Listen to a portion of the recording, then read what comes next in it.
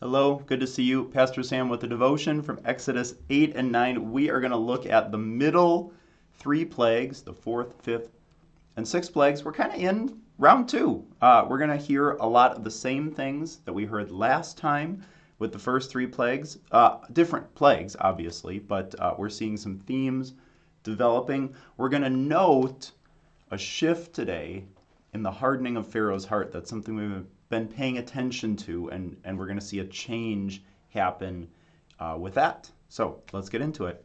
In the name of the Father, and of the Son, and of the Holy Spirit. Amen. Now we are going to read, uh, this is a little bit, it's not a shorter section, but I just, there's, there's really nothing that I can leave out today. It's all just good stuff. So we're going to read through, and then we're going to come back and comment on it.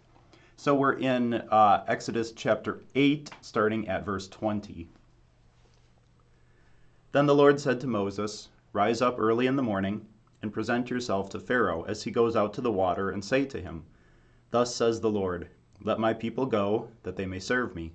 Or else, if you will not let my people go, behold, I will send swarms of flies on you, and your servants, and your people, and into your houses and the houses of the Egyptians shall be filled with swarms of flies, and also the ground on which they stand. But on that day I will set apart the land of Goshen, where my people dwell, so that no swarms of flies shall be there, that you may know that I am the Lord in the midst of the earth. Thus I will put a division between my people and your people. Tomorrow this sign shall happen. And the Lord did so. There came great swarms of flies into the house of Pharaoh and into his servants' houses. Throughout all the land of Egypt, the land was ruined by the swarms of flies. Then Pharaoh called Moses and Aaron and said, Go, sacrifice to your God within the land. But Moses said, It would not be right to do so, for the offerings we shall sacrifice to the Lord our God are an abomination to the Egyptians. If we sacrifice offerings abominable to the Egyptians before their eyes, will they not stone us? We must go three days' journey into the wilderness, and sacrifice to the Lord our God as he tells us. So Pharaoh said, I will let you go sacrifice to the Lord your God in the wilderness, only you must not go very far away. Plead for me.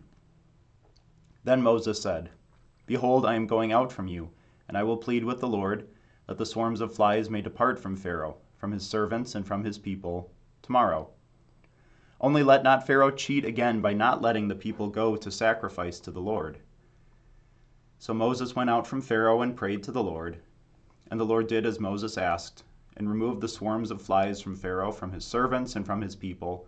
Not one remained. But Pharaoh hardened his heart this time also, and did not let the people go. Then the Lord said to Moses, Go into Pharaoh and say to him, Thus says the Lord, the God of the Hebrews, let my people go, that they may serve me. For if you refuse to let them go and still hold them, behold, the hand of the Lord will fall with a very severe plague upon your livestock that are in the field the horses, the donkeys, the camels, the herds, and the flocks. But the Lord will make a distinction between the livestock of Israel and the livestock of Egypt, so that nothing of all that belongs to the people of Israel shall die. And the Lord set a time, saying, Tomorrow the Lord will do this thing in the land. And the next day the Lord did this thing. All the livestock of the Egyptians died, but not one of the livestock of the people of Israel died. And Pharaoh sent, and behold, not one of the livestock of Israel was dead. But the heart of Pharaoh was hardened, and he did not let the people go. And the Lord said to Moses and Aaron, Take handfuls of soot from the kiln, and let Moses throw them in the air in the sight of Pharaoh. It shall become fine dust over all the land of Egypt, and become boils, breaking out in sores on man and beast throughout all the land of Egypt. So they took soot from the kiln and stood before Pharaoh, and Moses threw it in the air, and it became boils breaking out in sores on man and beast. And the magicians could not stand before Moses because of the boils, for the boils came upon the magicians and upon all the Egyptians. But the Lord hardened the heart of Pharaoh, and he did not listen to them, as the Lord had spoken to Moses. Okay, uh, let's go back to where we started here. So the, the plagues are fairly lit, lit, literarily divided into three groups of three. And we see that uh, the first, fourth, and seventh plague, we'll see that next time as well, have a very long section. Uh, so what is it? From verse 20 to verse 32, the fourth plague takes, you know, 12 verses. Uh, the fifth plague takes seven verses, and then the sixth plague takes four verses, five verses. Uh, so just the way that the um, plagues are structured sort of breaks them up into groups of three. And that's kind of why we're looking at them in groups of three. And then the 10th plague is uh, entirely set apart. It, it's kind of its own unique thing.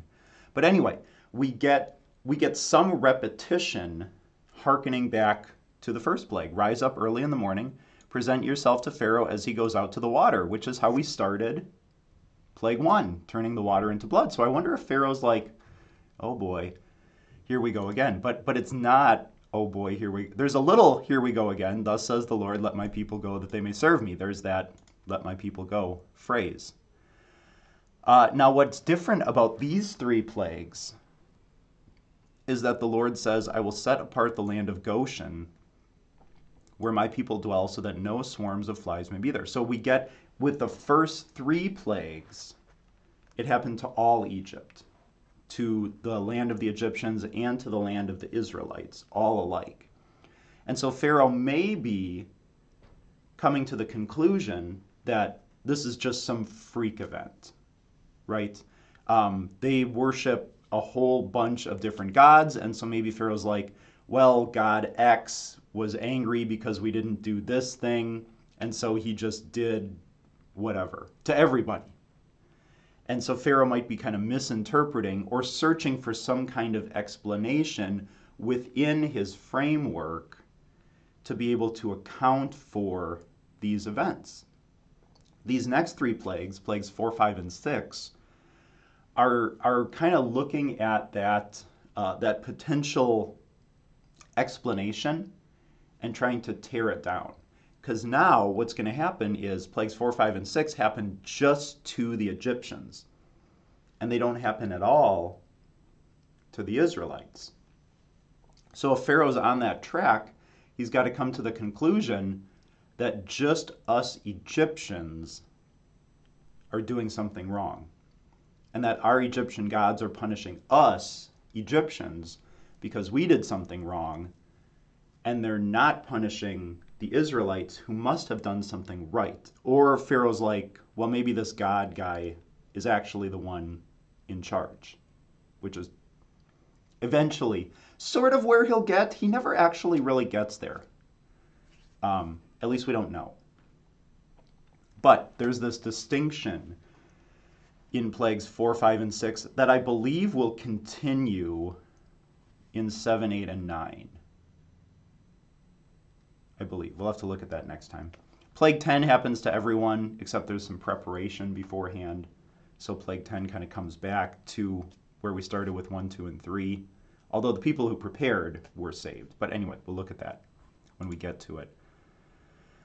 Uh, again, why does God make the distinction? That you may know that I am the Lord in the midst of the earth. All of these plagues, these 10 signs, are being performed so that the Egyptians may know that he is the Lord, and so that Pharaoh specifically will know who is Yahweh. This is all going back to Pharaoh's initial question when Moses comes and he says, Let us go that we may serve Yahweh in the wilderness. And Pharaoh says, Who is Yahweh? I do not know. That would be the Lord. When you see L O R D in all capitals there, that's, that's the divine name Yahweh. I do not know Yahweh. So God says, okay, if you don't know me, I am going to I am going to introduce myself. Uh, and God is making quite the first impression on Pharaoh. Okay, now we're we're seeing we're we're noticing uh, we've been noticing the hardness of Pharaoh's heart, and today will mark the shift. For the first five plagues, Pharaoh is the subject of the hardening. Starting with plague six, we're going to notice that God is hardening his heart. So Pharaoh's got this kind of bargaining with God. He says, Go sacrifice to your God within the land. He's taking what God has said, but he still wants to be in charge of it, which is not really listening to God, right? God doesn't give us something, like one of the commandments, for example, and say, You can modify this as you see fit, right? This is a guideline. And you can kind of do more or less. That's, that's not how God works. He doesn't tell us to do a thing and give us a whole bunch of leeway in the middle. Now, God does give us leeway on some things, right? But like the commandments, which we're going to get to in uh, chapter 20, 24, later on, uh, there's no leeway with the commandments. You, you do the thing or you don't do the thing, right? Uh, Pharaoh wants to still be in charge. So he's taking what God says to him and he's putting his own constraints on it. Go sacrifice to your God within the land. Next next plague, we're going to see he'll say go but don't go very far. Okay. So Pharaoh still wants to be the one in charge, and that's that's the problem. Right? The problem is that he wants to sort of do what God is saying. He's like kind of listening to God, half listening to God, but still wanting to put his own spin on it half listening to God is not listening to God. We can't, we can't get halfway saved. We can't believe in Jesus as our Savior and not believe that he rose from the dead or not believe that he actually died on the cross, right? We, we can't have half of a faith. This, such a faith is not really faith at all. There's no half faith. You either have faith or you don't have. You believe the whole Word of God, or really, you shouldn't believe any of it if you don't believe the whole word of God, you really shouldn't believe any of it. Because you're doing, such such a person is doing the same kind of thing that Pharaoh is doing, taking God's word and then putting their own personal constraints upon the word of God. Well, here's what I'm going to allow. Here's what I'm going to believe. Here's what I'm going to think God is actually saying. You, we, we take the whole thing or nothing. So it's it's not we don't see Pharaoh as, well, he's trying to meet God halfway. We, we don't see that. This, this is not an encouraging statement, is what I'm trying to say. Where, where Pharaoh's putting these distinctions and he's like, well, he's trying to work with God. We, we, we don't work with God. This is not a partnership. Um, God tells us how things are going to work because he's God and we're not. So Pharaoh, until Pharaoh goes all the way to God, he's he's nowhere, right? All all of this intermediate talk is is really worthless. Anyway, he doesn't let them go. Uh, Pharaoh hardened his heart this time. He didn't let he didn't even let the people go a teensy bit right? Only let Pharaoh not cheat again by not letting the people go. Moses, Moses, you know, you know what's happening. Called it, but Pharaoh hardened his heart. Pharaoh hardened his heart. Now notice. Now, this is the fourth plague, but it's the fifth time that Pharaoh hardened his heart. Because when Moses and Aaron first came to him before there were any plagues, and Moses showed him the signs, throwing down the staff, letting it turn into a snake. That that's kind of the introduction. That's sort of plague zero. We can maybe think about it. Pharaoh hardened his heart that time also. So Pharaoh will actually be in the majority of times hardening his heart. We'll get to that in the next play because zero through five, zero, one, two, three, four, five is six times, and then six, seven, eight, nine, ten is five times. Although I don't actually think he hardened his heart after the tenth plague. So it's it's really four times. Pharaoh hardens his heart six times. God hardens Pharaoh's heart four times. Well, actually, when he pursues them at the Red Sea, I think God hardens his heart. But but either way, we have at worst an even distribution of the heart. Right? I'm, I'm, I'm trying to show that God eventually gives Pharaoh what Pharaoh says he wants.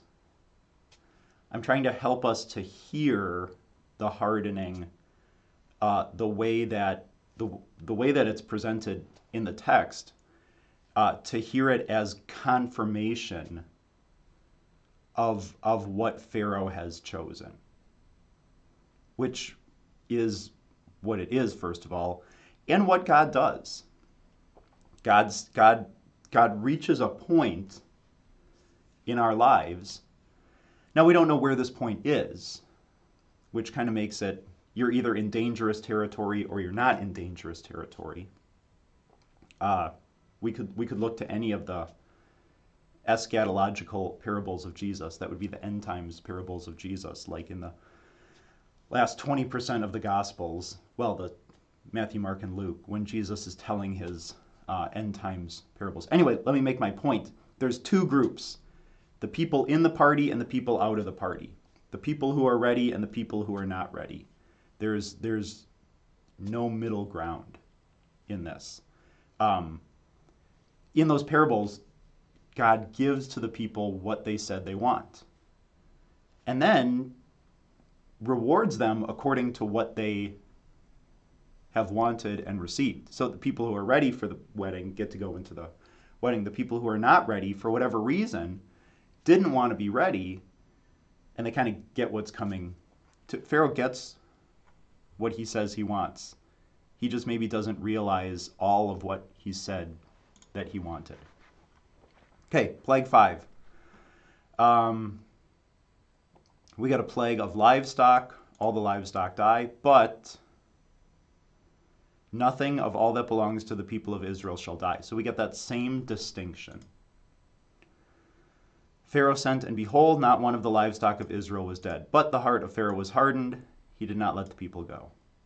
And this, this is sort of the middle uh, hardening passage, where next time, plague six, we're going to see God doing it. But Pharaoh has made it very clear. So he's had six times now where Moses has come to him and said, This is what God says, let the people go. And Pharaoh says, No, I'm not going to listen to God. Six times. Six times. For Pharaoh, times six was the magic number. Now, I don't know what it's going to be for anybody else.